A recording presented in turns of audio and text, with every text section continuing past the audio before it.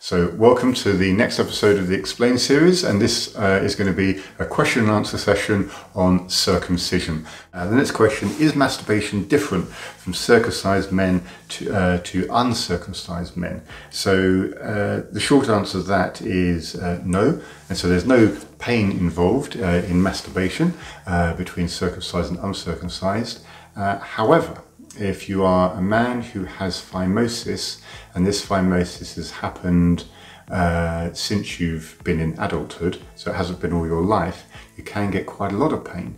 And that pain, uh, because you can't withdraw, uh, you can't pull back the head of the penis, and the mere act of getting erection can actually be painful. And I've seen many, many men where uh, an actual act of erection is painful and they can't uh, have sex and, and, that actually leads to depression. And I've seen that, it's not uncommon, uh, unfortunately. Uh, and so there, uh, I would say, I would usually advise the individual to actually go and have a, a full circumcision uh, in order to enable them uh, so they can uh, complete what they're supposed to be completing in terms of the act of sex and the act of ejaculation.